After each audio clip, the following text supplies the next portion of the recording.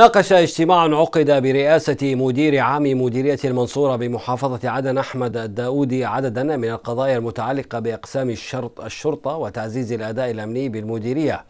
وحث مدير عام المنصورة مدراء أقسام الشرطة برفع الجاهزية الأمنية والعمل على إعادة ثقة المواطن برجال الأمن ومحاربة الظواهر السلبية التي تروج لها بعض الأدوات بهدف تشويه سمعة رجال الأمن.